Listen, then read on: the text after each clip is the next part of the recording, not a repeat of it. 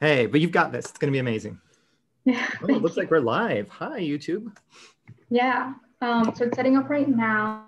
I will turn my camera off so that you have all the, so that your face is the only one showing.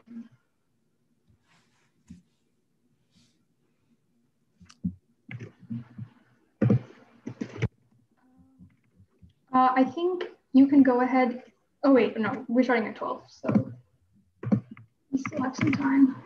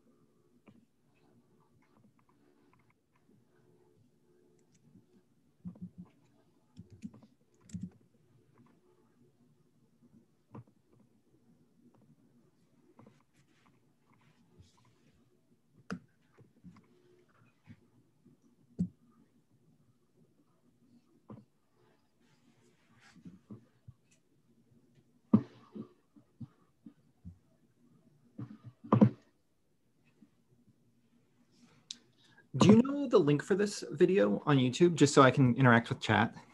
Yeah. Um, I will send it in the Zoom chat. Okay.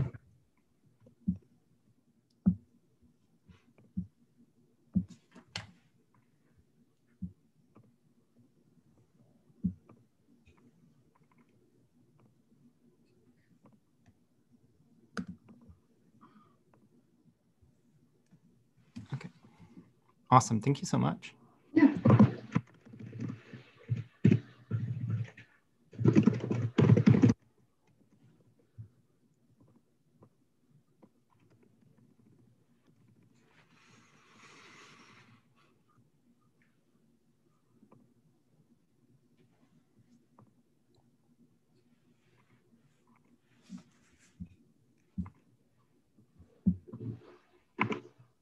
We also have an anonymous Google form set up uh, for your Q&A section. Oh, cool. Yeah, whichever way works best.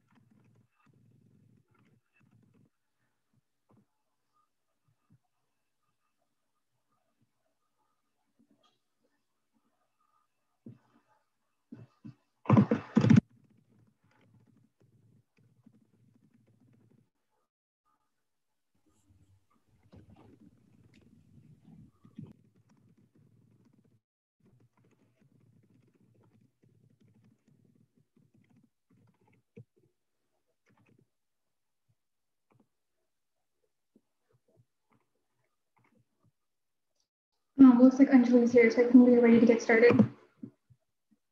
Uh, you can, a quick intro is fine. Yeah, already. Uh, sorry, Sadia, what do you say? We can get started now. Okay, sounds good. Um, yeah, awesome. So I guess we could just start with introductions. Um, Professor Wade, if you'd like to introduce yourself. Yeah, sure. I am Wade Fagen I am a professor of computer science teaching here at the University of Illinois and excited to get to chat with you guys. Yeah, that's awesome. Um, my name is Anjali. I'm one of the sales staff members. Um, and yeah, thank you everyone for attending. Um, feel free to get started with your presentation. Um, I'll just be on mute.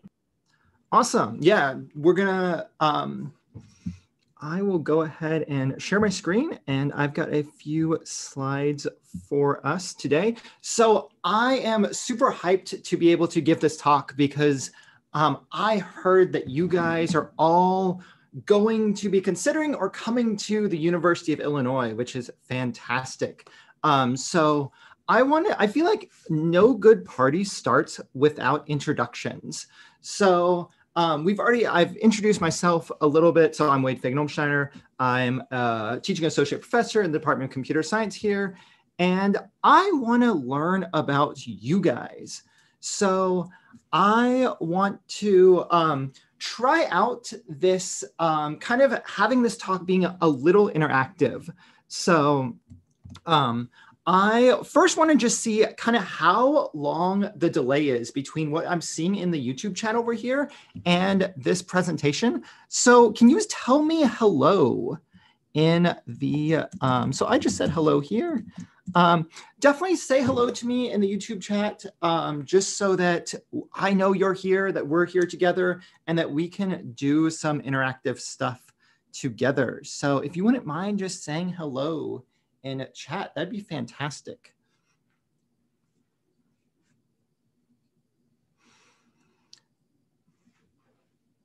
And in addition to that, I want to have us not just kind of make this a very static presentation, because I'm going to share kind of what you'll get to experience when you're here at Illinois.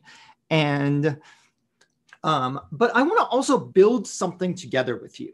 So part of this experience is I need your help to build this thing with me. So we're going to go through one of the things that you'll be building in um, probably your sophomore year, and we won't go through the technical details. Um, there's a lot of algorithms that we're going to skip over, but I want to show you some uh, assignment that I worked with um, stu students just like you to develop, and um, I need your help for this. So what I need is I'm going to send a um, form in the chat, and this link is to a Google form, which I want you to pick an image of something meaningful to you. It might be your profile picture, it might be a picture of your um, cat or your dog, whatever it is, and send that. And, and it's an image that you're okay um, ha having seen here on the YouTube video, and send that video. Um, fill out that form to send that picture to us.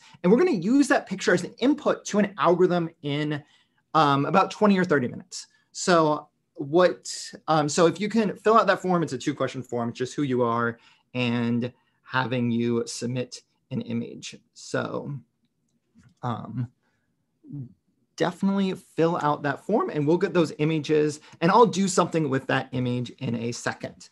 And in addition to that, I also need one other bit of information from you.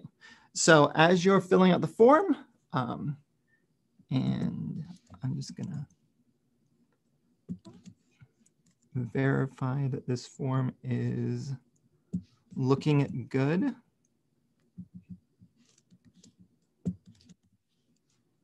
So um, hopefully you're able to fill out that form, but I also need one other piece of information for you for what we're gonna build in, at the end of this session.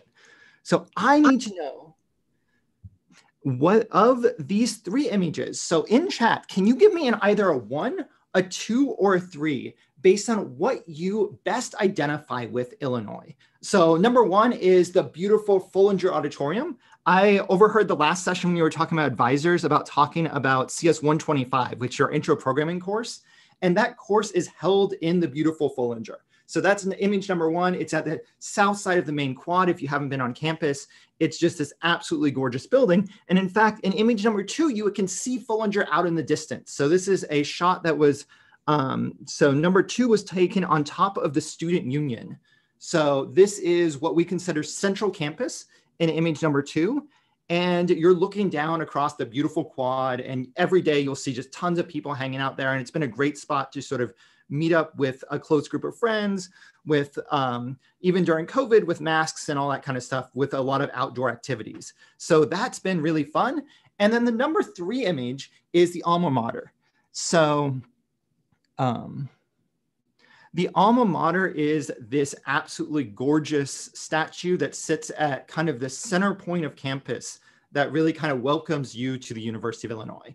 So in chat, put one, two, or three for your favorite image that we're going to use to create um, this mosaic together.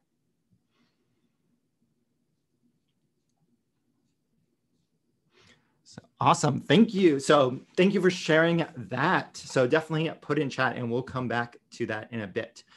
But what I want to do is I want to talk to you a little about the University of Illinois. So you are going to be joining this absolutely amazing program where what you'll see is this will go so far beyond kind of any experience you've had so far because what you who you'll be working with and the people you'll be surrounded with every single day are just fantastic amazing people. So just to kind of highlight a few faculty members, um, so we have the president of the IEEE organization. So IEEE is the um, uh, premier engineering society that um, or electrical engineering society. And bill somebody who i know personally and i've had many conversations with him and he teaches classes here at illinois. He's the president of that society. We've got a number of members of the national academies such as sarita whose picture i have here. Um, so sami is one of the, our one a phenomenal ai researcher um, in the top right and he's um, got the sloan research fellowship which is one of the most prestigious fellowships and one of the biggest kind of research agencies on, in the US government is known as the National Science Foundation. And one of the top awards you can get there is something called the Career Award. And every single semester we have faculty um, winning the Career Awards. So um, these are all, so all of these faculty are people who teach classes and who you will see as you um, journey through your career at Illinois. So in addition to just working with amazing faculty, you also will be surrounded by students who are doing amazing things and you will be a part of this group. So just looking at a few students who I know, who I've worked with personally in research and um, is like on the top left, it's Natalia and Matt who um, presented at both ASEE. So this is a top conference in um, engineering education. This is the American Society of Engineering Education. They presented last year at that conference right before COVID. This is kind of an eerie picture because it was taken, I think, like at the beginning of March, right before the shutdowns happened. So it's kind of weird to see this picture. Um, and then we have something called the Knights of St. Patrick, which is this um, prestigious campus organization that highlights the very top seniors. And um, Karen is somebody who I've worked with on research. She's done a research project under me, and she um, graduated last year, but graduated as a Knight of St. Patrick. And we also have phenomenal people doing cutting edge research on things like virtual reality. So you are working, you're going to be surrounded by amazing students and amazing opportunities at Illinois. And the way you get to these amazing opportunities is, and the way you interact with amazing faculty is often both being social in kind of computer science and around campus, um, but also through your courses. So one thing that I think you guys have talked about in the advising panel, so I'm not going to spend much time here, is you've got this, uh, this really strong set of core courses. And what I really love about Illinois, and you'll see that this is different than a lot of programs, is our core is very small. That effectively, depending on what flavor of plus X you might be, um, you might have to choose one or the, one side or the other side of the or in the middle of it. But basically, we have just I kind of think of it as four levels of courses that you get through. Um, and I kind of lay these out as kind of the very top, your CS 125 slash 124, 128. That's really your freshman year. And then as you kind of move to the later part of your freshman year, second semester freshman year, or possibly first semester sophomore year, you take CS 173 and 225. These are your foundational discrete math course and your foundational data structures course.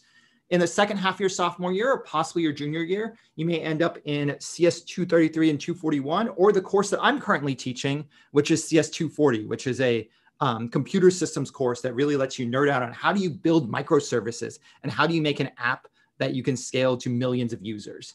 And then the final set of courses you take, usually at the beginning of your junior year, is um, a numerical methods course, a probability statistics course, and an algorithms course. And the beauty is once you finish this course, so this is all of the core courses that you're really going to take.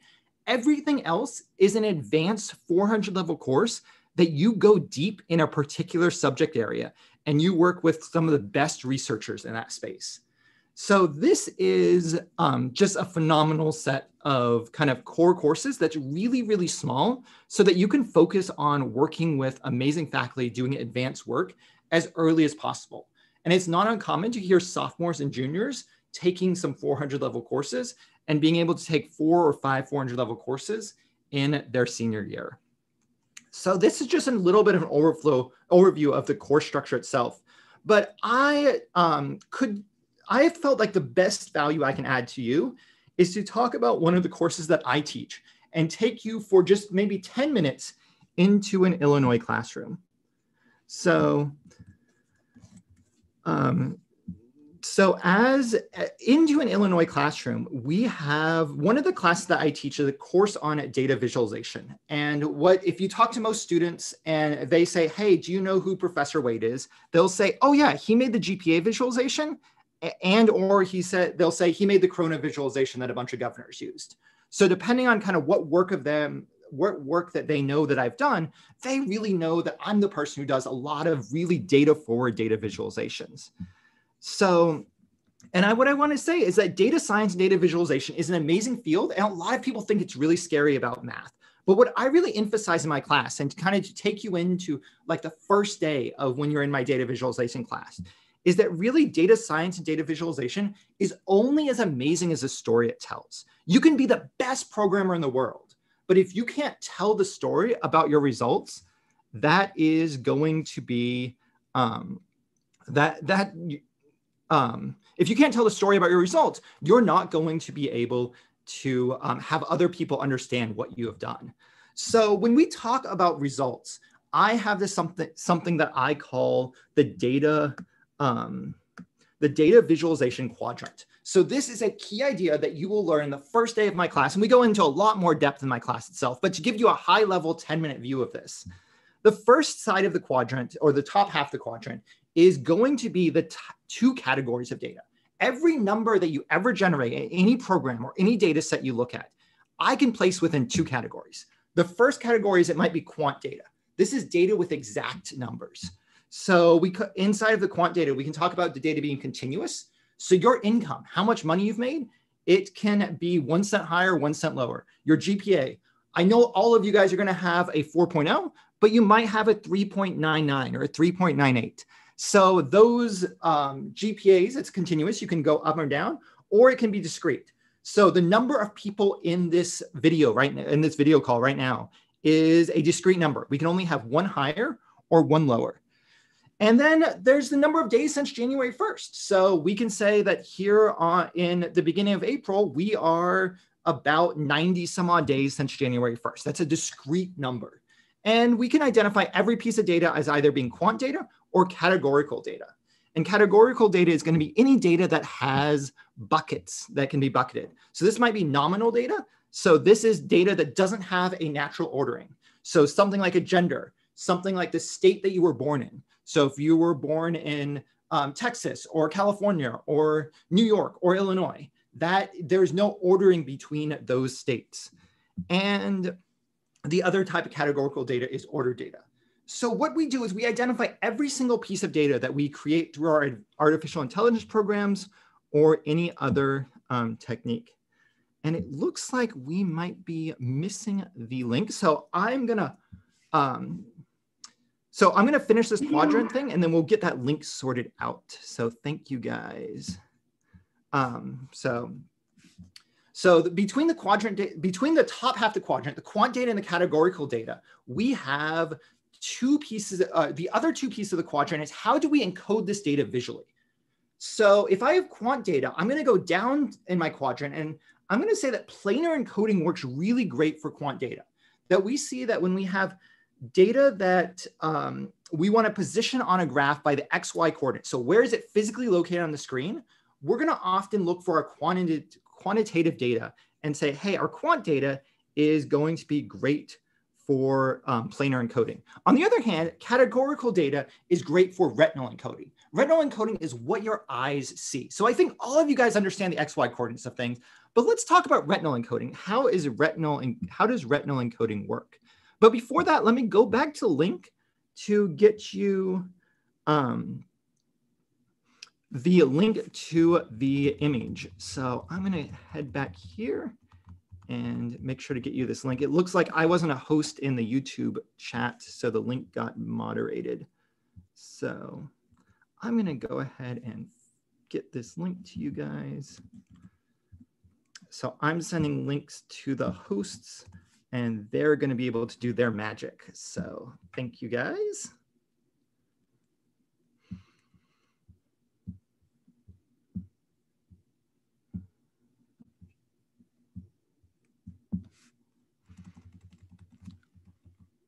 Awesome. So if you can um, give an image so that we can use, um, we can play around with that image in a bit. So sorry about the technical difficulties.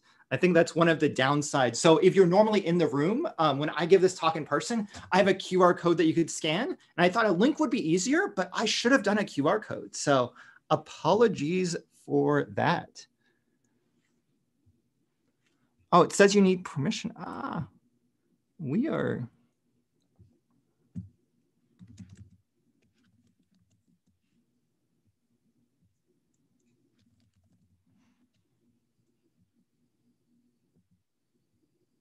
I'm fixing the permissions real fast to make sure.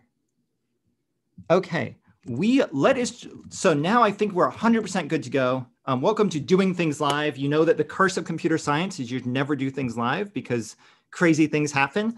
Um, but if you, I'm just refreshing the page right now, and I, in, an, in my other computer that's not logged into anything, I see that I can access the page. So you should be good to go. Thank you guys so much for letting me know about that. Sorry about that. Um, fix now. Awesome. I see you guys in chat that we are working. We are good to go. So to catch you guys up, to get us back on the same brainwaves, we've got four things that we care about. We care about what the type of the data is and whether or not it's quant or categorical and the type of encoding, whether or not it's planar or retinal encoding. So what I want to do is I want to explain the six different types of retinal encoding for you. And then we've got some interactive examples that I want to go through with you. So one type of retinal encoding is the size. So when you think about any data visualization, the size that something is conveys information to your eyes. So you as somebody who does data visualization, you're going to want to care about what size is the thing that you're putting onto your screen. The second bit is you may care, you may want to use color saturation. So all five of these blocks are the exact same color blue, but these blocks have a different saturation of blue. They have a different intensity of that color of blue. And that's our second form of retinal encoding. The third, third form of retinal encoding is the orientation. So this is the exact same arrow. This arrow is simply rotated different directions so that I can show a different orientation of data. And if you think of like anytime you have like stock market data or price data, you're going to see like up and down arrows being a huge retinal encoding um, attribute where you may have the up arrow and you may also use the hue of that up arrow, which is our fourth form of retinal encoding. So a green up arrow may mean that um, something is worth more or, or a red down arrow might be something is worth less. So these have the exact same color saturation. They have the same intensity of the color, but they have a different hue. The fifth is shape. So you can have your eyes are going to be able to perceive a different type of data based on the shape of that data. So you can think about scatter plots. You're often seeing this type of retinal encoding.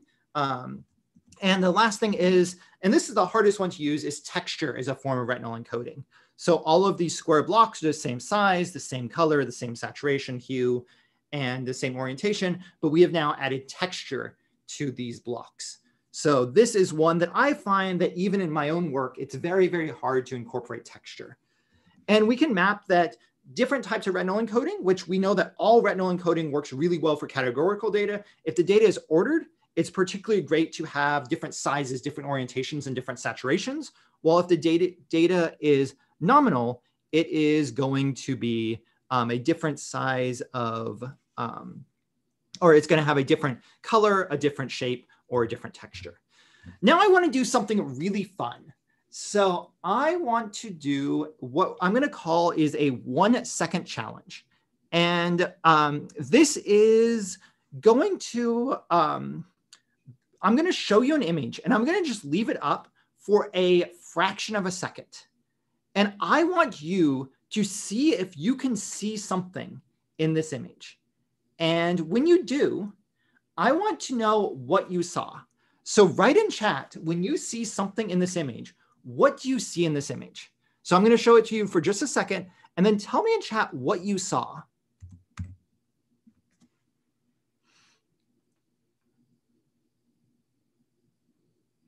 So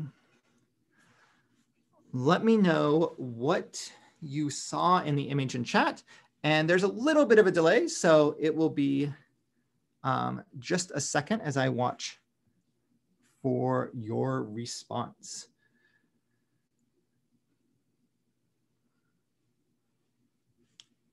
And what I'm guessing that many of you saw is that you saw a, um, awesome, you saw a bunch of jagged lines is something I'm seeing. The very first person saw jagged lines. You saw a line graph shows kind of um, one thing that a lot of people mention is a red line at the top. Awesome. And in that red line at the top, we have, um, so you really kind of, your eyes drew to that red line and other people said there's gray lines beneath that and um, that there's something bold at the top. So without even thinking about the image, you were actually able to identify different parts of this image without really understanding what this image even is. So we call, so this is actually an award-winning visualization that Bloomberg News put out um, about five years ago that this is a visualization that showed the global climate temperature of the planet mapped by every single month.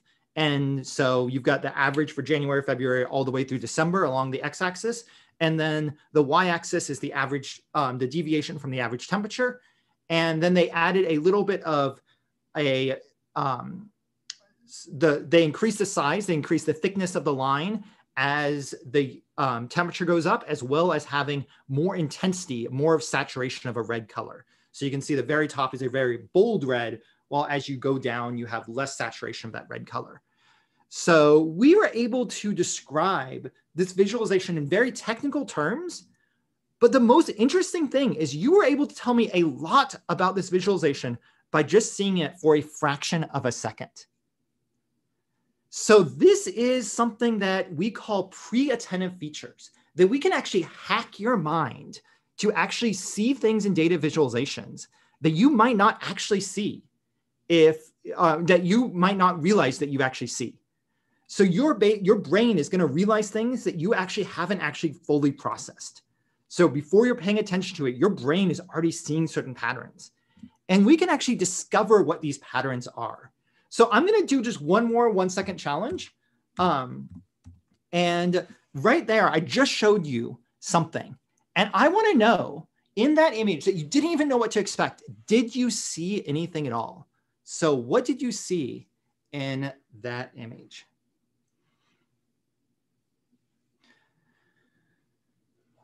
And what we're going to do by doing this is we're going to discover if you can realize what pre-attentive features are.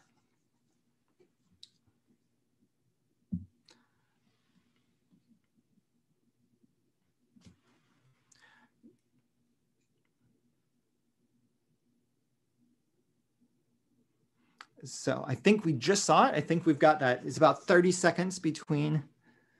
Awesome. So people are seeing a grid of red squares, or sorry, grid of squares with two red squares.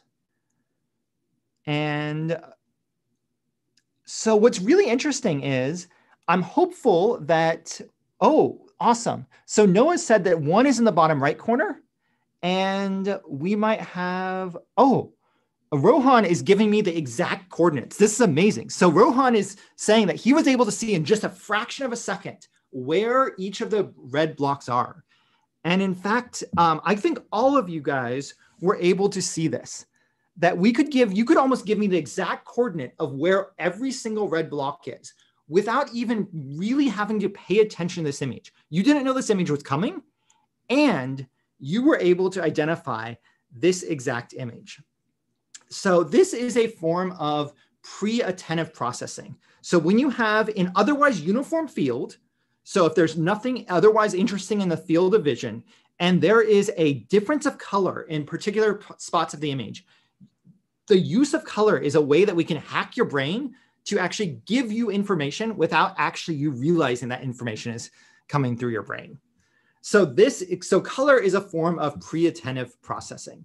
We can go through a number of different pre-attentive processing. So um, I encourage you guys to sort of, I'm going to show you these things for just a fraction of a second, but then I'm not going to wait to sort of have you guys react to them. But I do want you to um, do this yourself is as you're seeing these things, see the, if you can see, um, if you can remember what you just saw. So I'm going to do this for our second form of pre-attentive processing. And I speculate that all of you were able to identify that there was a circle among this field. And in this circle, you saw the circle was on the left hand side of the graph, probably like the third column and the second row. And if that's what you saw, you're exactly right. That the form of an object is the is a for, is a type of a pre-attentive feature. So if in, in an otherwise uniform field, if something has a different form, your eyes are going to be attracted to that particular form. The third type of pre-attentive processing, the third way we can hack your brain, and we actually see this online a ton, is movement. So movement in an otherwise static field, if you have something that's moving, something that's changing, that is a way that we can send information to your brain before you're actually even paying attention to this image. So if you've ever seen an ad that flashes different colors on the web, that is a form of color movement that it's changing the color of the image and your eyes are drawn to that form of movement because of pre-attentive processing. It's how our brains are wired. And the fourth major category of pre-attentive processing is the spatial positioning.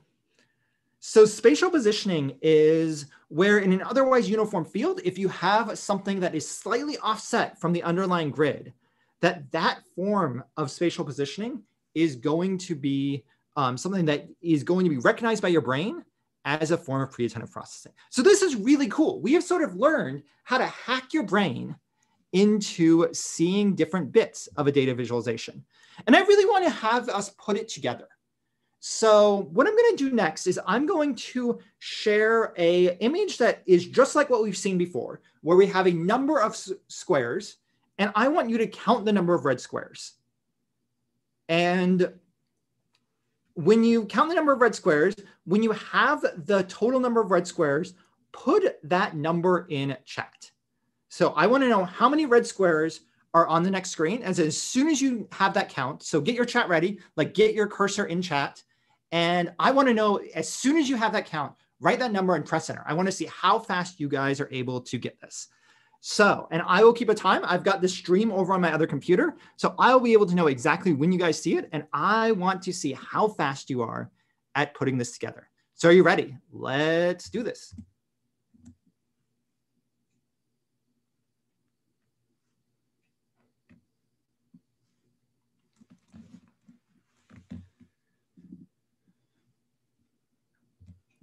So what you'll see is this takes somewhere between five to 10 seconds, it looks like, for you to actually be able to spot all of the red squares, count all of the red squares, and then somehow figure out what the count is and then type into your computer. So there's a little bit more of a delay because you do have to type that into your computer, but you're going to um, hopefully find that I see a few people got it wrong, but it's 16 total red squares. And it took you guys about I would say seven seconds to see this. So I feel like that didn't work so well. I let's see about another one. So I've got a second one and let's do this again. Now I'm going to show a second image. And just like before, as soon as you count the number of red squares, put that number in chat. So three, two, one, let's go.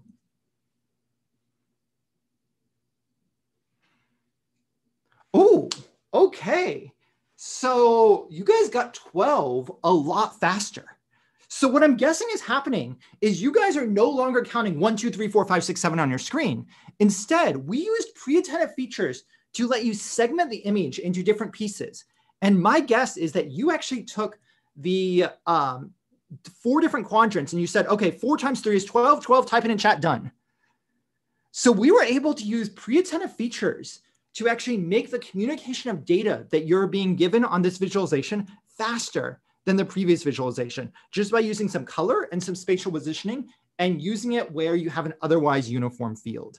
So this is a really fun area that I think is an exciting area to research, an exciting area to think about how do we best convey information in especially technical information, especially like the results of artificial intelligence algorithms. How do we present this out this data to a broad community and how do we build algorithms to visualize things really really well? So um I so if you've been through my data visualization class, one of the fun things we get to do is we get to then create impactful data visualizations that we get to share with the world. So one Illinois data set that I've worked on is um, that I'm that most everyone on campus knows about was actually created with students who took this very course that I took these lecture slides from. And to give you a little back, bit, bit of background, the University of Illinois, since at least 2012, publishes the statistical distribution of all of the course grades. They tell you how many A, B, C's, D's, and F's are in every single course that's taught at the University of Illinois. But they give it to you in this absolutely horrendous file. They give you an Excel file that was like created from a website. So if you open it up, it takes forever to load. Excel doesn't even think it's an Excel file. It freezes for several seconds every time you try and scroll it. It's just a hot mess. And what we did was we took this file and we said, okay, we're going to clean it up put it in a nice CSV format, and then visualize it. And one thing that we talk about is when we do visualizations, we want to portray emotion. We want to be able to tell a story with this visualization. So every um, visualization, we want to think of why we make the choice to have different choices. So universally, there's only about three happy colors that no matter what culture you're from, no matter what your background is, generally you're going to see the colors that appear in nature as happy colors. So these are colors like yellow, green, and blue. Those are going to be colors that are universally seen as happy colors. Sad color is actually quite a bit different. Different cultures have different sad colors. So some cultures see red as a sad color, while other cultures see red as a color of proud, uh, uh, a color to be proud of. Um, so the really there's only one universally sad color, and that's the color of basically a bruise. So a purpley color is a color that's pretty much universally seen as a color that portrays sad emotion. So what we did is we wanted to show the GPAs of every single course at Illinois through a series of colors that convey emotion. So a 4.0 GPA, GPA is a nice sunny day. We are happy. It is amazing. But by the time you get to a 2.0, oof, like that's that's sad. So we want to think about what is the best way to share this visualization. And we're going to use this color scheme and the larger the course, the bigger the circle. And if we go and look at this, this is some of the courses at Illinois. So um, I'm actually going to have some of the, um, uh, because um yeah. I was gonna have, kind of have this more interactive but hey we've got some of uh, julie can you help me out here? Yeah for sure what's up? Yeah so um math. Did you take a math course that's like 221 231 241 yeah we had to i did take it a while ago but yeah. Yeah so what was that course? Um i took i'm taking 415 right now. Oh. um that's pretty bruised over here too. It's pretty bruised. yeah. Yeah. I mean, I guess it, it, just represents like a lot of students have to take it because it's part of the curriculum. But yeah, and particularly the two, the 220, 231, 241, those courses are your calculus courses, right? Right. Yeah. Yeah. So the calc sequence here, it's rough. And what about physics? Did you take physics 211, 212, 213? Not yet, but from friends I've heard it's it's not the most pleasant class. so yeah. Um, so one of the core courses you have to take is the physics courses. So like the advisor said, like it is tough. Like we expect a lot of you out of Illinois, and these courses, like the part of the reason I have the GPA visualization is some of you may feel you've never gotten a B in your life, And like knowing that you're not alone, that the average GPA in these courses is at 2.3, that should help you put things in perspective. Um, and we can look at engineering. So engineering, we've got the CS courses. You can see um, CS 241 is kind of notorious. You can see there's a little bruise spot right here in the 240 space in um, computer science. But you can see that as you get to the 400 levels, um, things get a little bit more sunny. But what's really funny is we can look at the differences between not just engineering and LAS courses, we can also look at other courses. So look at business. Wow, Okay, so when you have a friend that's in the College of Business, it's a pretty sunny space down there. So you can't always compare GPAs. Is one thing that I really try and share with people is that there's going to be different um, level that different courses have different GPAs and different majors are going to have different expectations for your GPAs. And we want to really challenge you in computer science, and you're going to learn a ton. But to be fair to the College of Business, um, there are some of the majors that do have um, a little bit more bruising in their GPAs. Um, and we can look at uh, every one of these. One things that I really want you to do is whenever you look at a visualization is be able to dive into the data, figure out what does this data mean? Why do we encode data as different points? So Fin 300, um, average GPA of 2.55. And, um, but there are majors like applied health sciences that are quite happy. And the reason I show this screen is to really contrast it with the next one because wow, that's impactful like there's a story to be told about the difference between a really sunny area and a really bruised area. And we really can see the emotions on how this data is transferred. And hopefully you kind of see how this data um, makes a big difference. So this data visualization that was built by a bunch of students and me um, as part of my data visualization course. It's been viewed by basically the entire world. Um, if we just look at how who is viewed in Illinois, obviously here, if you're in Champaign-Urbana, you care a lot about this. Um, but even as you see the Chicago area and the rest of the state of Illinois, basically what we have is a population distribution graph of Illinois based on the, who's viewed this data visualization. So that's really cool to be able to look at the analytics behind this kind of stuff. And I've done a number of other data visualizations. We can dive into a lot of the analytics, understand how people use it, um, look at different data sets, and um, talk about other various GPAs. But um, I've done a bunch of different work on data visualizations. And um, I won't go through all of this. You can ch check out my website if you're interested in some of um, those data visualizations, but I hope to get to build a data visualization with you one day. But to finish up this talk, I want to look at the mosaics. So I know that because of the technical difficulties, we probably, I don't know if we were able to create your particular mosaic. Um, and so I'm going to, one thing that I'm going to do is I think you guys have a Slack channel, right? That you guys are all part of. Is that right? Yeah, we have a Slack.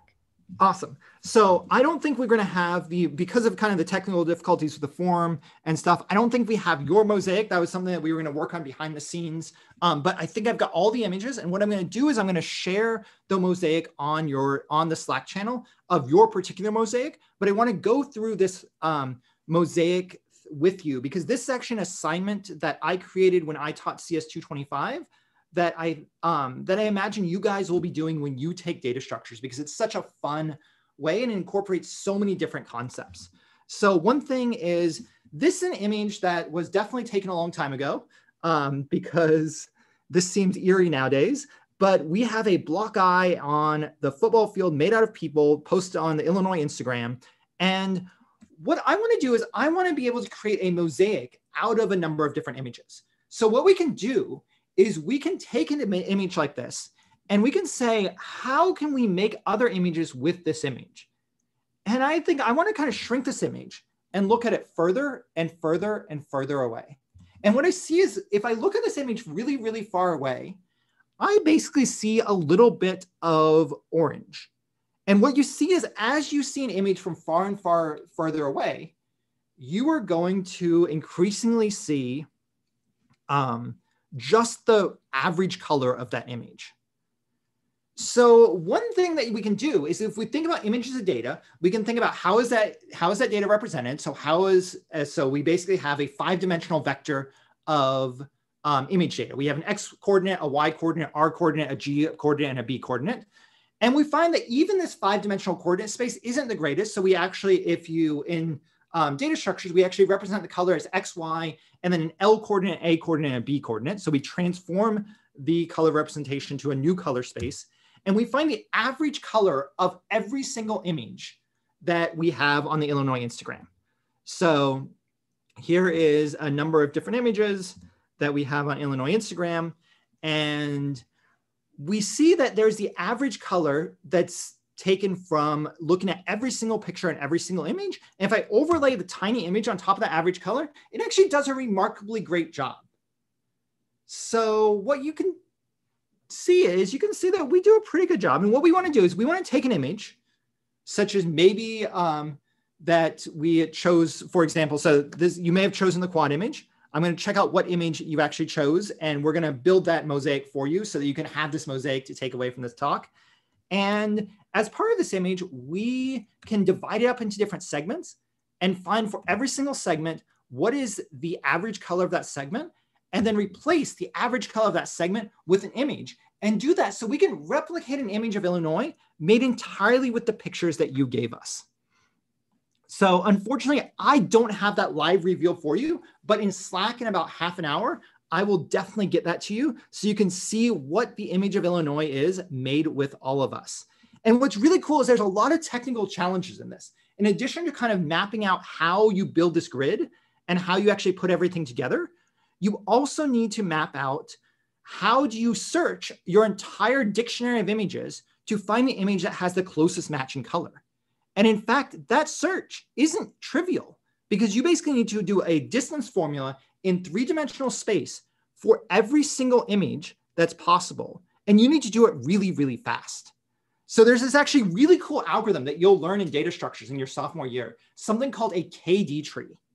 And a KD tree allows you to do high dimensional search in logarithmic time. And this is super awesome because it makes an algorithm be able to accept thousands and thousands of tile images and still run in just a few seconds. So, um, and this is going to improve significantly over doing the distance formula for every single possible region of this image against every other tile image. So these are kind of just some of the problems and some of the application of the problems that you're going to see before you even get to your upper level advanced classes. So it's really fun. Hopefully this gives you an idea of some of the exciting things and some of the creativity that comes with being a computer scientist and some of the fun problems that you get to work on here at Illinois. So um, I wanted to definitely say welcome to Illinois. It, hopefully this gave you a little bit of a taste of what an Illinois lecture is like, some of the problems that you get to solve in Illinois, at Illinois, some of the things you'll learn and how data structures can be useful um, to building out problems that don't really seem naturally like, oh, hey, we have a whole bunch of data structures in a five dimensional search space uh, problem. Interesting. So I think we've got a bit of time left for any questions. So I'm going to turn off my slides and have um, the staff here join me. And um, yeah, I'll give it back to you. Yeah, awesome. Thank you so much for that wonderful presentation. I think people really learned a lot, um, and I'm, I'm really excited that it was really interactive. Um, so we are going to post the form link in the chat. Uh, let's just wait a couple of moments, I guess, for questions to come in. Um, okay, there are some. Okay. Uh, what is the typical structure of a CS class in terms of when exams are administered, uh, the learning we do in lectures, and the learning we do outside of class, etc.? Yeah, so the CS classes are going to be, um, they're going to vary a lot by professor. So what you'll see is every professor has, uh, is going to teach the way that they teach best. So in my classes, for example, I give out these. Um, so I'm. So what you'll do is if you come into one of my classes, I think that one of the biggest things, if you write something, you'll learn something. So I'm here in my Siebel Center office. And like when you walk into my classroom, you will get a sheet of paper um, that's basically two-sided. And what we're going to go through is we're going to go through a bunch of problems that we've sort of outlined beforehand. So when you come into class, you're going to leave class with a whole bunch of new knowledge that you have these notes to sort of um, start to have a basis to begin to do um, the homework and the programming assignments. So you're often going to see that there's going to be um, a lecture component. And then from that lecture component, you're going to have to spend at least two or three times as much time as you spend in lecture going through either homework problems, going through programming problems, or other types of exercises to really reinforce the learning that you did, on, did in lecture. Yeah, that's really cool. I think it, there probably is going to be a difference between how it isn't structured in COVID and non-COVID, but hopefully things will be back to normal. Um, the next question is, what is the scope of a CS undergrad student's experience in research? Yeah, so research, I think that's one of the best reasons to come to Illinois. And one of the reasons that I love being here is that I think the statistics is over half the undergraduates get involved with research with a professor before they graduate, which is phenomenal. I have my research group is the D7 group. I usually work with about 20 to 25 undergraduates in an average semester. And um, they're working on projects that are like the GPA visualization that we described in the talk, that things that really convey information in new and interesting ways that get seen by lots of people that really make impact on the world and make the world a better place. So I think that usually most students will want to take 225. So you'll want to get through your data structures course and then once you've done data structures, once you're basically in your sophomore year, you almost any professor would be thrilled to get to work with you. Awesome. Um, we have one more question before we end. Um, do you recommend, or I guess the next one seems more, uh, it seems like with data visualization, there's a lot of blending between sensation and perception in psychology and data structure slash CS. Is that blend of fields a focus of your research and the CS department overall? So, yes, I think that's an amazing question. And there is one of the things that Illinois does really well. And the reason that I think I'm here is the CS plus X programs. So, I think literally half of all of the CS majors are some form of CS plus X, which means that you're studying not just computer science, but you're also studying your domain of expertise. So, I teach CS240 explicitly because that is kind of one of the most cross disciplinary courses because that's taken by all of the different CS plus X's. So um, one of the newest CS Plus X is like CS Plus Music. So I've gone into like just nerd out with not just how do I represent data visually, but like this semester I'm looking at how do you represent data musically. So what is data sonification, and how do you convey emotions with both music and making that music real. So I'm working with another professor, another professor in music, um, Steve Taylor, who has actually so Professor Taylor has actually taken data from the coronavirus genome and actually said, okay, if I were to make a musical piece that is the sound of coronavirus, what does coronavirus sound like by using the actual proteins? So it's really interesting to kind of think about how you can use CS knowledge, use data to apply it different fields. And I think that almost everything we do in computer science is cross-disciplinary. And I think the CS plus X majors are part of that reason is everyone you're meeting and everyone you're hanging around with are interested and experts in some different thing. Yeah, that's awesome. I didn't even know you could like do that, like take music and take the coronavirus like back, like actually. Yeah, it's really cool. Yeah, that's really cool. Um, so we are kind of at time. So that is kind of all for our questions component. Uh, thank you everyone for coming. And of course, thank you so much, Professor Wade, for your time. Um, yeah, I, thank you guys. It's, I hope to see you here on campus at Illinois and I hope to have you in one of my classes soon. Yeah, that's wonderful. Thank you.